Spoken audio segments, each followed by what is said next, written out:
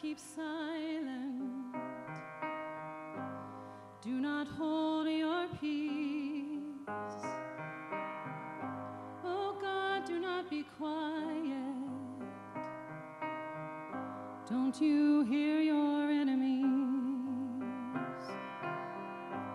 against your treasured ones? They devise and craft their schemes. Let us wipe out Israel, destroy their memory due to